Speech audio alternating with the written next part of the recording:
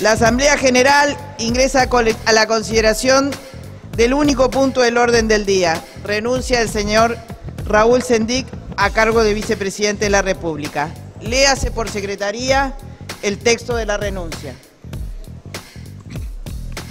Montevideo, 11 de septiembre del 2017. Señores y señoras integrantes de la Asamblea General, a través de la presente les presento mi renuncia al cargo de la vicepresidencia de la República por motivos personales. Aprovecho para saludarlos a todos y manifestarles que ha sido un honor presidir este, ese cuerpo y compartir estos años de trabajo con ustedes. Saludo atentamente a Raúl Sendic, vicepresidente de la República. Pasamos a votar. Se vota.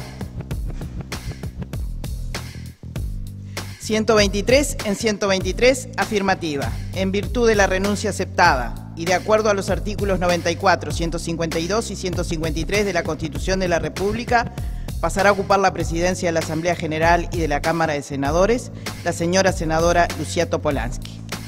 No habiendo más asuntos, se levanta la sesión.